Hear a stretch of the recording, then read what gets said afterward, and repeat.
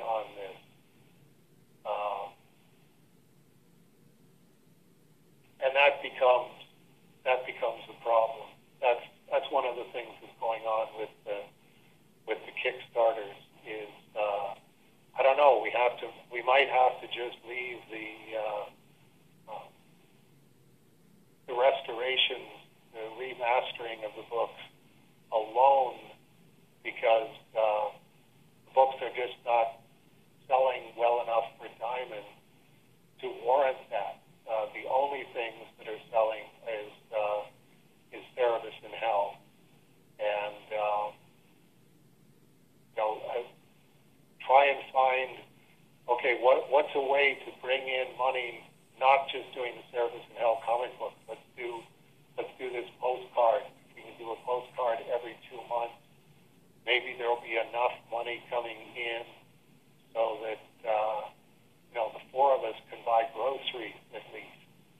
Uh, and uh, we'll we'll see. You know, this time next week we'll we'll have a much clearer answer of uh, okay, this is how much money came in, and then the week after that, this is how much money it cost to do the postcard.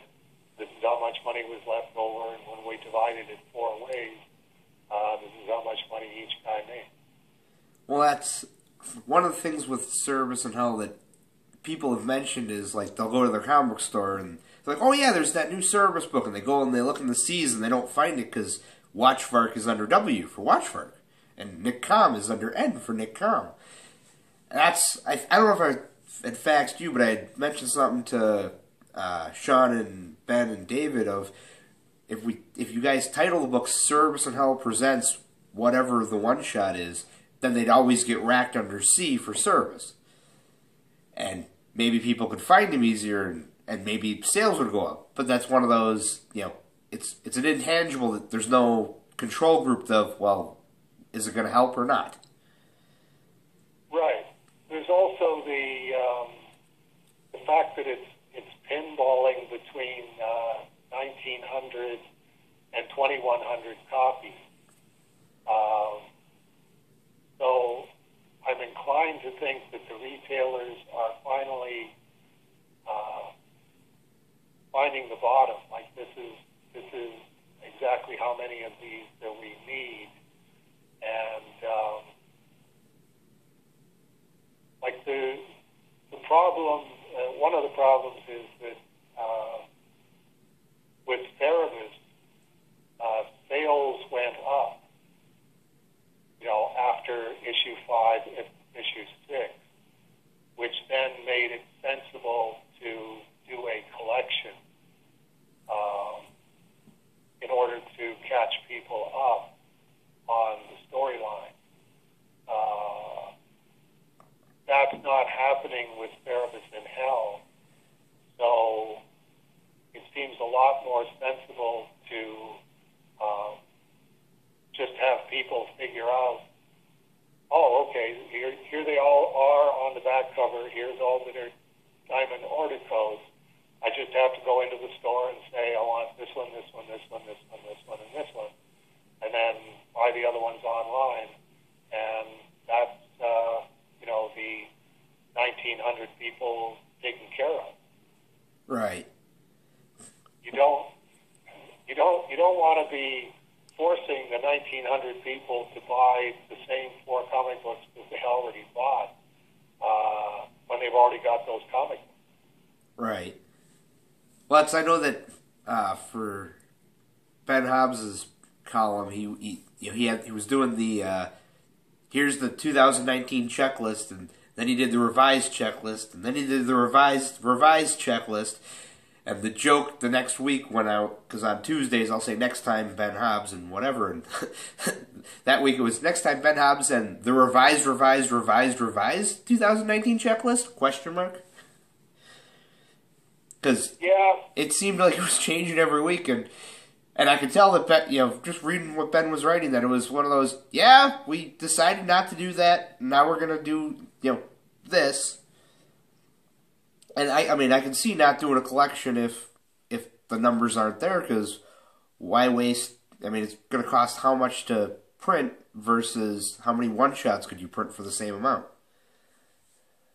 I mean, this this brings me all the way back to when I was doing Swords of Cerebus, and I was getting uh, hate mail from people because I was I put a backup story in it.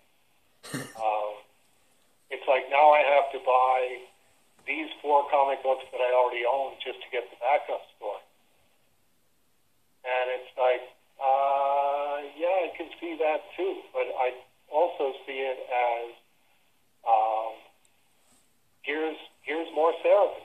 Like uh, I can't do I can't do two monthly titles but if I've got a trade paperback coming out, uh, I, and I work with somebody else, I can maybe do another eight-page story. It's like,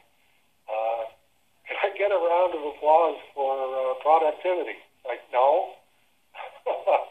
what what you get is uh, is hate mail for forcing me to buy something I already own.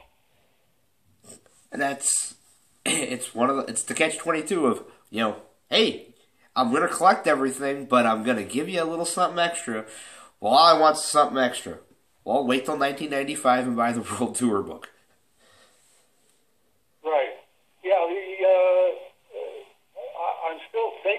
About a Cerebus in Hell trade paperback, and I, I was going, well, how do you how do you avoid that? Like, uh, and I was thinking if you did the the old science fiction annual thing of just putting the covers on the front cover and the interiors around the interior.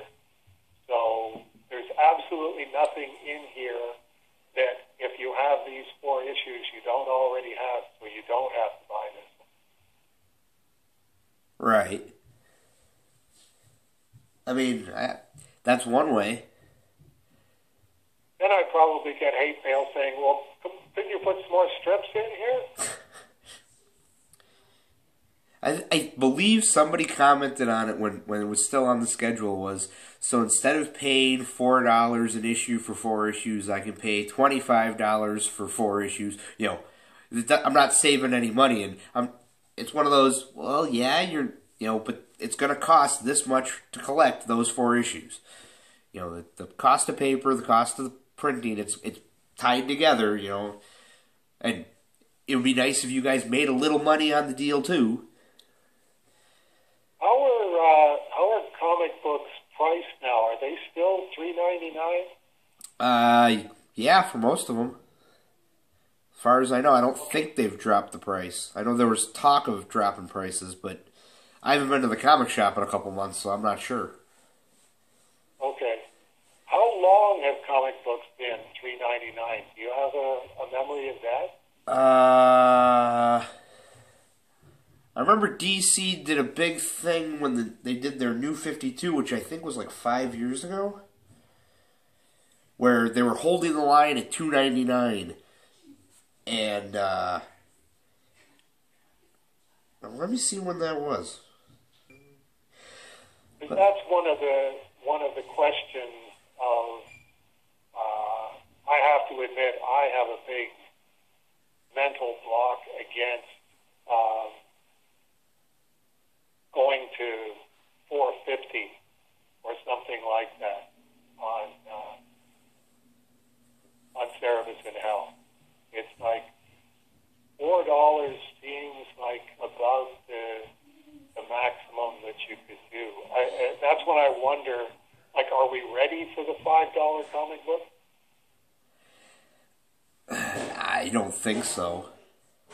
Because it seemed to me that they did sort of jump from three dollars to four dollars. Yeah. Like there's there's ter- there's territory in between there, um, but it does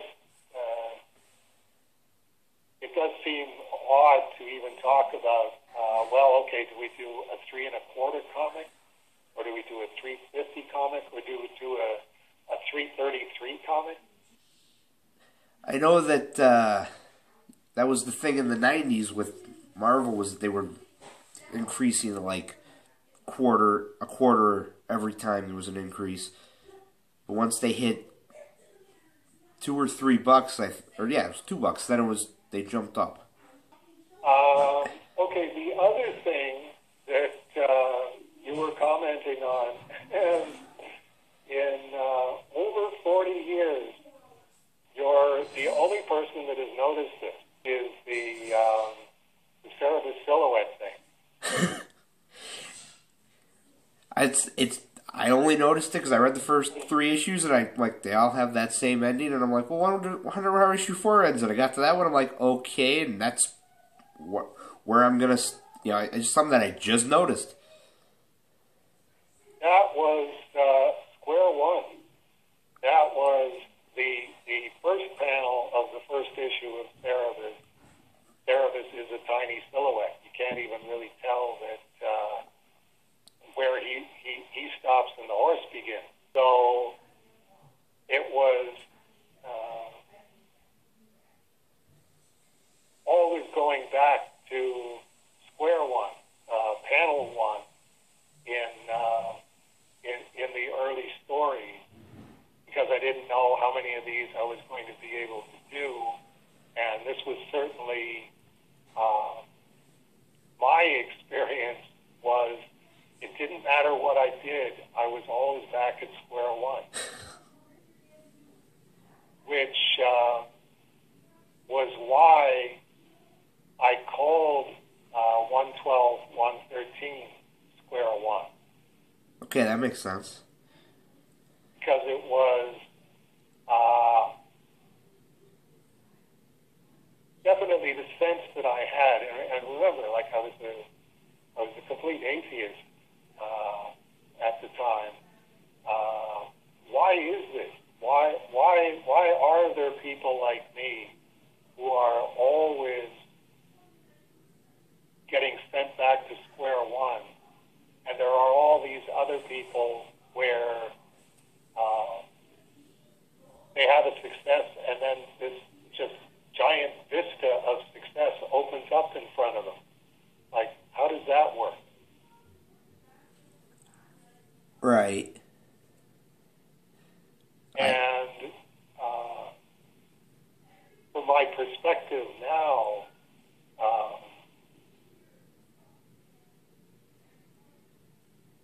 well, not not strictly from my perspective now, but certainly uh, after I became religious, I looked back at it and went, "No, this was this was a saving grace in your life that you you didn't have that kind of success.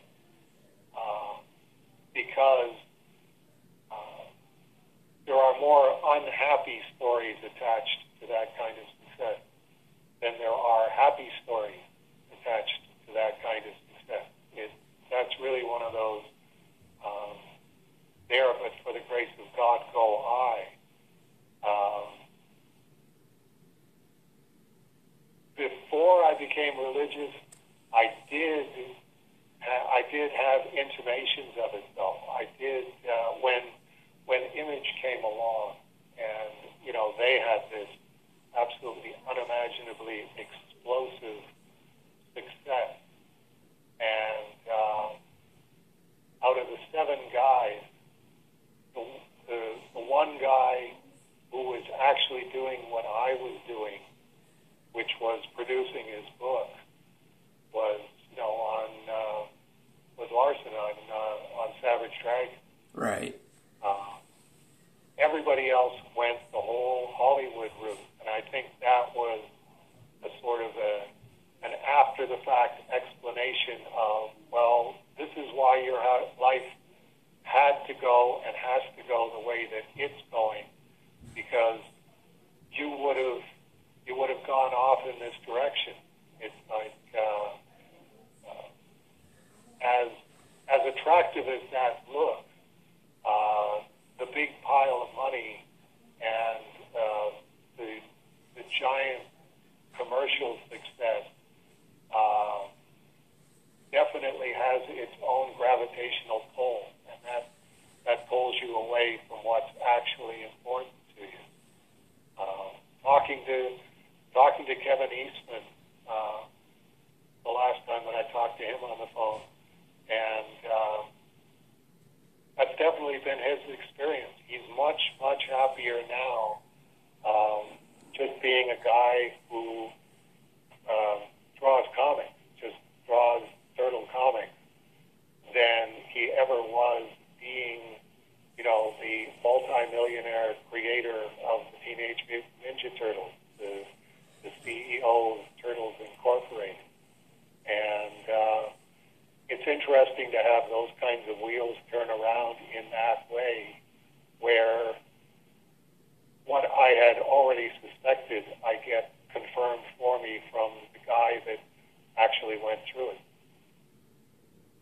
Right. I can see that.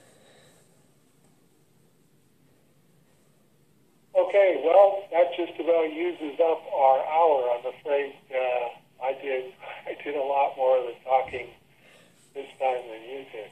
Yeah, but it's please hold for Dave Sim, not please hold for Matt Dow, so it's fine by me. Okay, all right.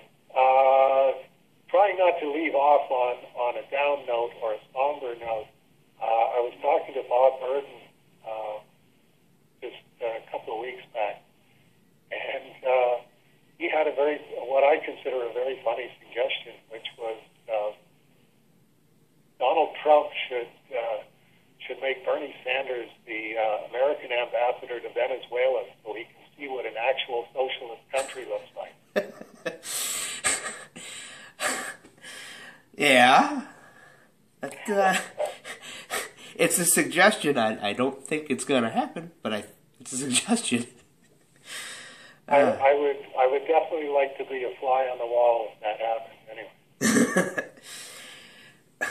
I would like to hear the tape the fly on the wall made of that con- of the of, of that conversation when it happens, but I don't think I'd actually want to be on the wall. there you go. Okay, well that does it for another then, Matt. Okay. Thanks. All right. Talk to you again next month. Uh, we'll talk to you then. Say say hi to Paula and uh, and Janice. Janice's uh, birthday card is. Uh, it's not in the mail because she's she's the end of this month, right? The thirty first, Correct. and it's turning eight. Correct. That that boggles my mind that uh, Janice Pearl is turning eight. I still picture her as a baby. I uh, we have a, f- a f- photo frame with a bunch of photos, and one of them is day one, like within three hours of her being born. I picked her up and held her, and she reached her little hand up to touch my, try to touch my face, and we got a picture of it. And every time I walk past it, I'm like, and that kid is now four feet tall, and Yes, dancing and running around and just barrel energy. And I think she was so sweet. What happened? The uh, the birth announcement where you wrote, uh, "Look upon my works, ye mighty, and tremble." Yep. That's uh, Oh, it still cracks me up. when Natasha was born. I went online and I I posted the video of John Hurt at the dinner scene from Alien and said, "If you know what's going on, you'll understand." And everybody went, "There's something wrong with you, Matt." And then I followed it up with the 1933 Frankenstein, Universal Frankenstein. It's alive. It's alive. Now I know what it feels like to be a god. And everybody understood what what I was talking about after that one. okay, good. And they still look at you funny. Oh yeah, everybody looks at me funny. All right. All right. You have a good month, and uh, we will talk to you in April. yep. Have a good one, Dave. Take care. You too. Bye-bye.